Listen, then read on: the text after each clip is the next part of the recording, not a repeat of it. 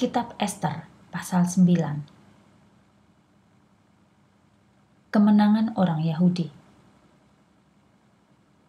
Bulan 12, yaitu bulan Adar pada tanggal 13. Ketika perintah dan undang-undang raja siap untuk dilaksanakan. Musuh orang Yahudi berharap dapat menguasai mereka.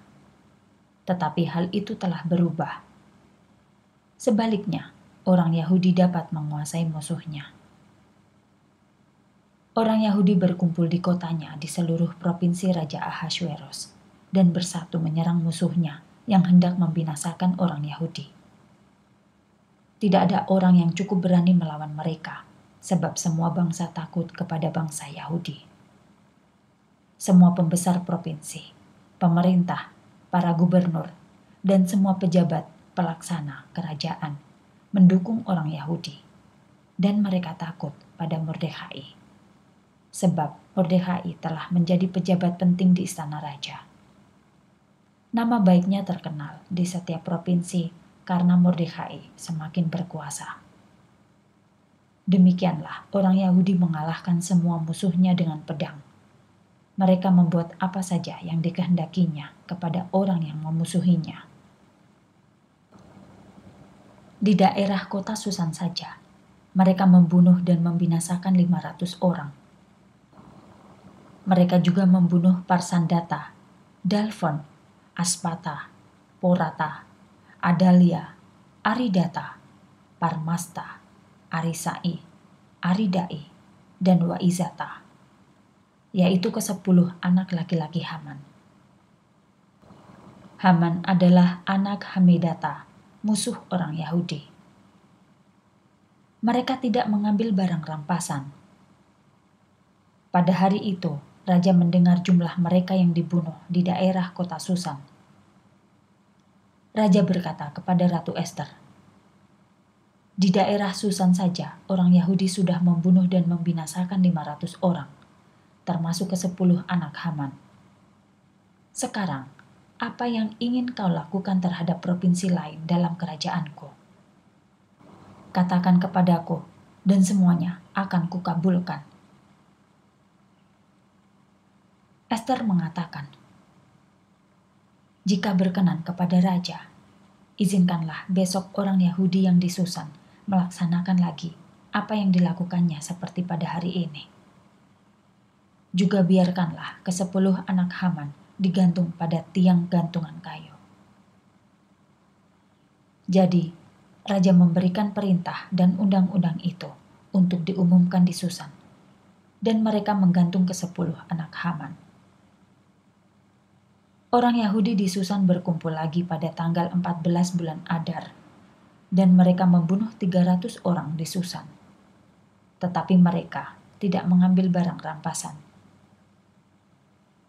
Demikian juga orang Yahudi yang lain yang tinggal di provinsi-provinsi kerajaan ikut berkumpul untuk membela diri dan menjaga keamanan terhadap musuhnya. Mereka membunuh 75 ribu musuhnya.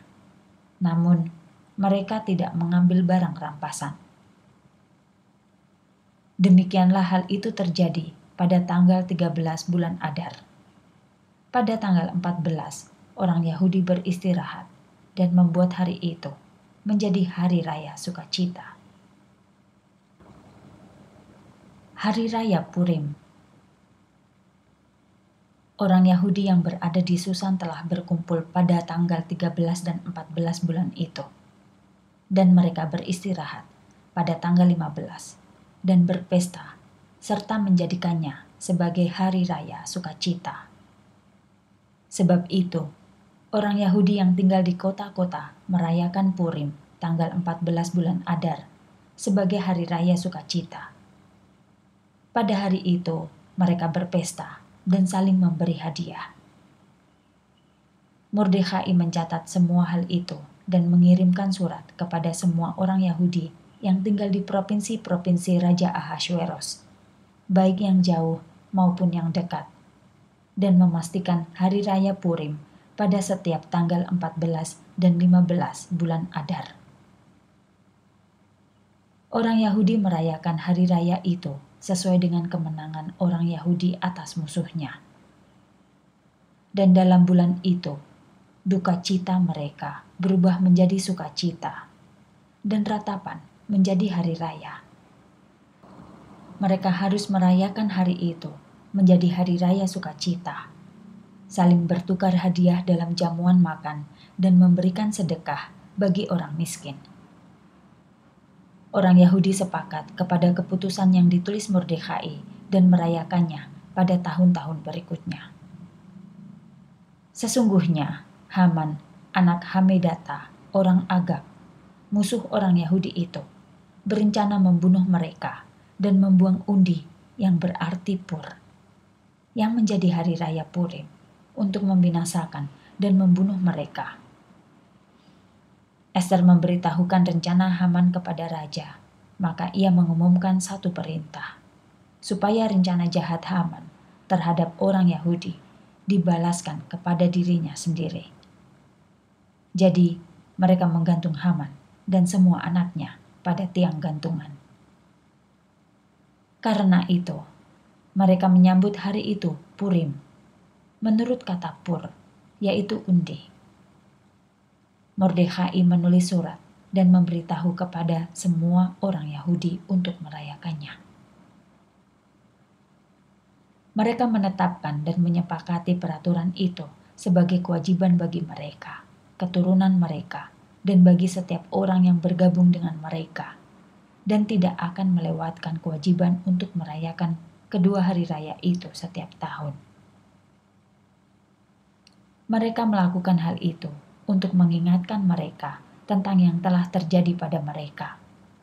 Orang Yahudi dan semua orang yang bergabung dengan mereka merayakan kedua hari itu dengan cara yang benar. Setiap keturunan dan keluarga mengingat kedua hari itu.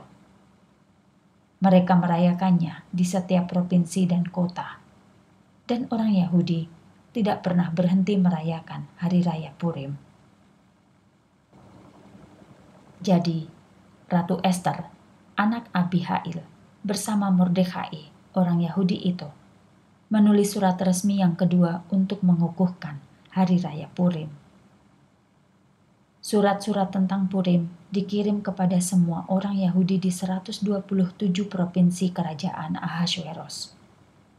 Ia mengatakan kepada umat bahwa hari raya itu harus membawa damai dan saling mempercayai. Mordekhai menulis surat itu dan mengatakan kepada mereka untuk mulai merayakan Purim. Dan dia mengatakan kapan hari raya yang baru itu dirayakan. Mordekhai orang Yahudi dan Ratu Esther telah mengirimkan perintah kepada orang Yahudi. Mereka melakukannya untuk menetapkan hari raya selama dua hari bagi mereka sendiri dan keturunannya. Mereka mengingat hari raya itu sebagaimana hari raya lainnya diingatnya, ketika mereka puasa dan berkabung atas hal yang buruk yang telah terjadi. Perintah Esther tentang peraturan hari raya Purim ditulis dalam buku